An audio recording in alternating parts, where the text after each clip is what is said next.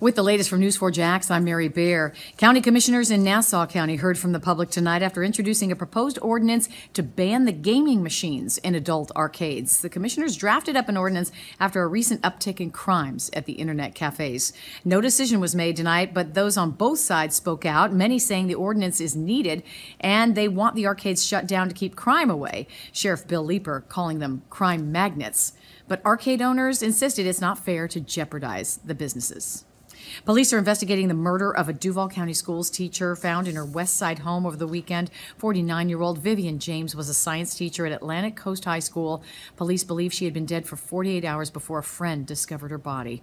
No arrests have yet been announced. The Duval County Schools spokesperson says grief counselors will be available for staff as they return to school later this week and again for students when they return next week. And start off the new year with a new career. JSO is hiring and has announced several recruiting dates in January. The first is January 8th at the U.S. Army Recruiting Office on Beach Boulevard. And you can apply today at joinjso.com. Always the latest news online at news4jax.com.